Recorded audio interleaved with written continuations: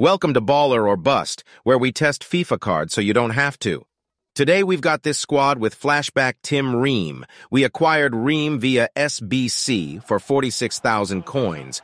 Who saw USA lose to Panama last night? He needs a shadow to boost that acceleration. It also keeps him as lengthy, which is important.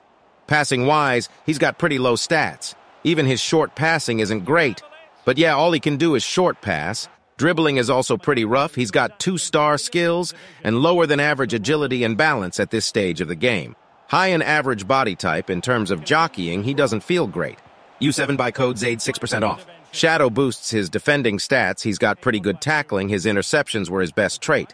Decent positioning-wise, nothing insane. Physicality-wise, he's pretty good too. Lowish aggression, though, is annoying. He's only got three-star weak foot, too. Overall, I mean, unless you're doing a Fulham P&P or a USA team. I don't know why you would do this, SBC.